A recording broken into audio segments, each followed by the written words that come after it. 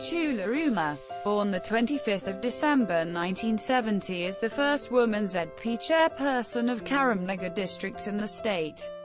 Mahila president of the Telangana Rashtra Samithi, a regional party in India. She is a ZPTC from the Kathalapur Mandal of Karimnagar district, Telangana. She took oath in the coveted ZP chairperson position on 5 July 2014.